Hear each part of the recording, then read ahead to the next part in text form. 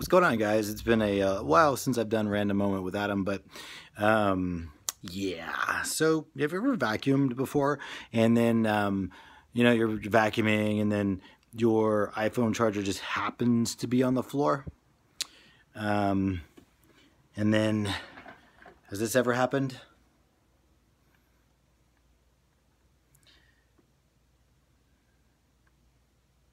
Yeah. So, I don't even know where to begin untangling this one.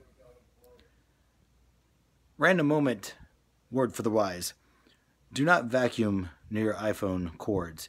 And you know what? That's pretty, I mean, that's pretty apparent. Like, that's common sense. So, those of you that uh, didn't know that, which I'm assuming there's probably not that many, now you do. Don't do it.